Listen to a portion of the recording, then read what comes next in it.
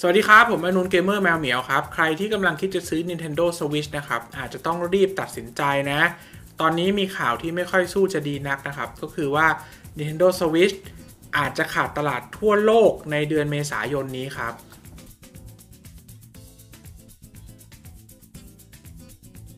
ก่อนหน้านี้นะครับ Nintendo ได้ออกมาแถลงนะครับว่าไวรัสโคโรนาจะไม่ส่งผลต่อการขาย Nintendo Switch ในอเมริกาแล้วก็ในยุโรปนะครับ แต่ว่า ตอนนี้ดูเหมือนว่าสถานการณ์จะไม่เป็นแบบนั้นแล้วนะครับ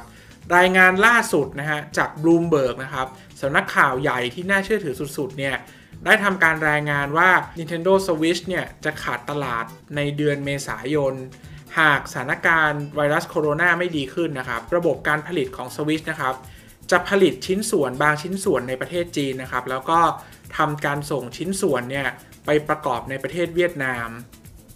ในปัจจุบันนะครับสำหรับล็อตเดือนกุมภาและมีนาคมเนี่ยไม่มีปัญหาอะไรนะครับ โรงงานในจีนเนี่ยส่งมอบให้โรงงานในเวียดนามเรียบร้อยแล้วนะครับ โรงงานในเวียดนามก็ประกอบนะครับ แล้วก็ทำการส่งเครื่องสวิชไปที่อเมริกาและยุโรปนะฮะแต่ปัญหาคืออุปกรณ์ชิ้นส่วนนะครับ จากเมืองจีนสำหรับล็อตการผลิตเดือนเมษานะครับ ไม่สามารถส่งมอบให้ได้ เนื่องมาจากไวรัสโคโรนานะครับทำให้ โรงงานในเมืองจีนต้องปิดตัวอย่างไม่มีกำหนดนะครับทำให้ถ้าสถานการณ์นี้ยังไม่ดีขึ้นนะ โรงงานในเมืองจีนไม่สามารถกลับมาเปิดได้นะครับ Nintendo Switch จะขาดตลาดในระดับโลกในเดือนเมษายนนะครับ หลายคนนะครับที่เพิ่ง pre-order Line Animal Crossing อาจจะถามว่า แล้วอย่างนี้เนี่ยจะส่งผลกระทบไหมนะครับ Nintendo Switch Line Animal Crossing เนี่ยถูกกำหนดให้วางจำหน่ายในอเมริกานะในวันที่ 20 มีนาคมนะฮะ แล้วเชื่อว่า ถ้าเป็นเครื่องหิ้วนะกว่าจะมาถึงไทยอาจจะใช้เวลา 2-3 วันนะครับ ก็อาจจะ 23 24 ผมเชื่อว่าถ้าล็อตนี้เนี่ย ถ้าพรีออเดอร์สำเร็จนะครับ จ่ายเงินไปแล้วจองไปแล้วเนี่ย ไม่น่ามีปัญหาอะไร คิดว่าเครื่องเนี่ย น่าจะได้แน่นอน แต่ถ้าใครสั่งเครื่อง Animal Crossing ล็อต2นะครับ ซึ่งจะเป็นเครื่องที่จะถูกผลิตนะครับ หลังจากวันที่ 20 มีนาไปแล้วเนี่ย อันนี้เนี่ยผมไม่แน่ใจว่าจะได้เครื่องหรือเปล่า หรืออาจจะต้องรอไป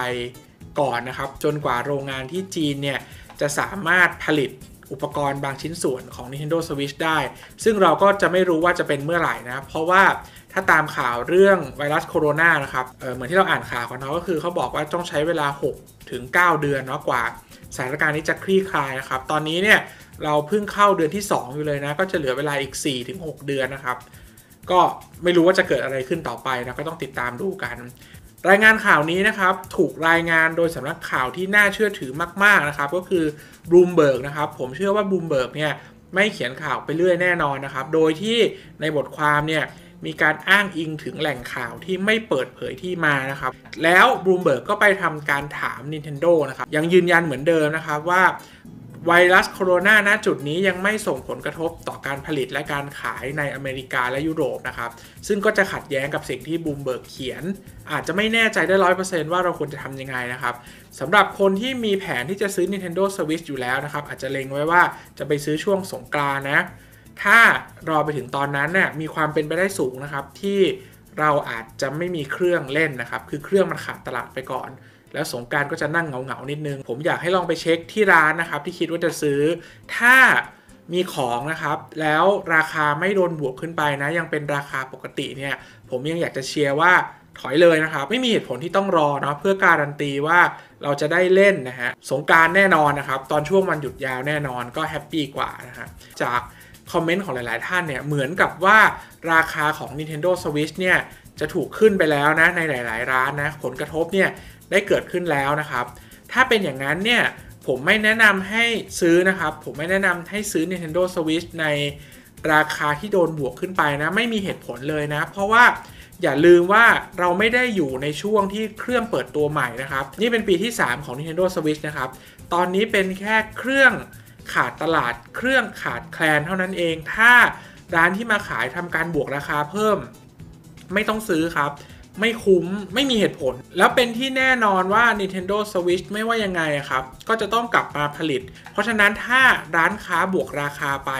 ผมไม่เชียร์นะ ผมไม่แนะนำให้ซื้อก็รอก่อนก็ได้ ดีกว่านะครับ เราจะได้ซื้อเครื่องที่ราคาเป็นธรรมนะ ในที่สุดแล้วมันไปถึงจุดที่ Nintendo ไม่สามารถควบคุมการผลิตได้แล้วเนี่ย ยังไง Nintendo ต้องออกมาประกาศอย่างเป็นทางการนะครับ ถ้ายังไม่อยากขยับตัวนะครับ ยังไม่อยากคิดอะไรว่าจะซื้อหรือไม่ซื้อเนี่ยก็รอตอนนั้นก็ได้นะครับ รอให้ Nintendo ออกมาประกาศก็ได้ว่า ตอนนี้ผลิตไม่ได้แล้วนะ อาจจะต้องรอไปก่อนนะครับ แต่ถ้ารอไปจนถึงจุดนั้นเนี่ย มันอาจจะไม่มีเครื่องแล้วก็ได้ มันอาจจะไม่ทันการแล้วก็ได้ ถ้าอยากติดตามแมวนูนแบบเจาะลึกนะครับ สามารถเข้าไปกดไลค์ได้ใน Facebook Page แมวนูนยูทูบเบอร์นะครับ ที่นั่นก็จะมีในโกคุมะ432 มาช่วยกันเขียนบทความด้วย ก็จะอัปเดตถี่กว่าบน YouTube นะครับ ขอบคุณที่ดูประมาณจบครับ ผมมานูนวันนี้ลาไปก่อนชอบกดไลค์ไม่ชอบกดดิสไลค์อยากดูไปนานกด Subscribe กดกระดิ่งกริ๊งกริ๊งสวัสดีครับ